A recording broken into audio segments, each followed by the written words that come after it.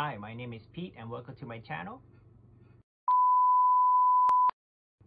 Hi, my name is Pete and welcome to my channel. If you haven't yet, please subscribe. And now, on to the video.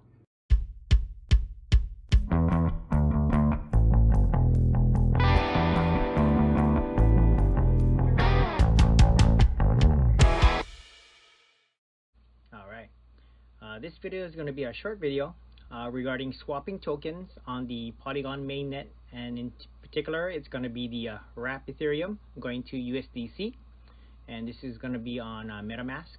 I'm going to use the uh, internet browser. I'm actually using Edge. Okay. Uh, first thing you'll do, you'll go to your web browser where your MetaMask is. Go ahead and click on that. Type in your password. Go ahead and unlock okay. And you notice here I have the wrap Ethereum but I don't have the USDC so we're gonna go ahead and get that token ID or token address. Click on that. Click on the three dots. And we're gonna view assets in Explorer. Okay. It takes you to the Polygon scan. Um, you can actually go ahead and type Polygon scan and search for the token that way. But uh, I can go this way. Okay so this is the polygon scan. I'm going to type in USDC right there. And that's the one. Click on that. Once you get that, you see this is the USDC token. Okay, you're going to click right here and you're going to copy.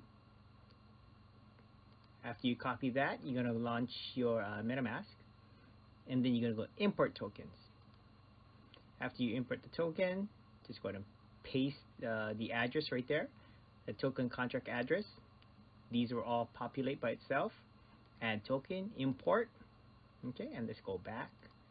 And you notice now I have the USDC uh, token on the Polygon mainnet okay. So now what we're gonna do is we're gonna swap our Ethereum to USDC so click on Ethereum click on swap okay it'll pop up right here uh, the wrap Ethereum. I'm gonna click on max okay. Then you're gonna select the token that you want to swap it to I'm going to select the USDC okay and click on review okay and that's the uh, gas fees it's going to take. Um, since it's on a polygon it's really cheap yeah it's the estimated gas right there. It's only like a penny at the most two cents okay. Click on swap okay and it's gonna go through processing. Once it's done transaction complete. Go ahead and close that and there you go. So all my wrap Ethereum, I swapped it to USDC on the Polygon mainnet. And that's it. That's how easy it is. Okay. Alright, thanks for watching. Uh, if you like this content, um, please subscribe. I'll go ahead and put up more content like this.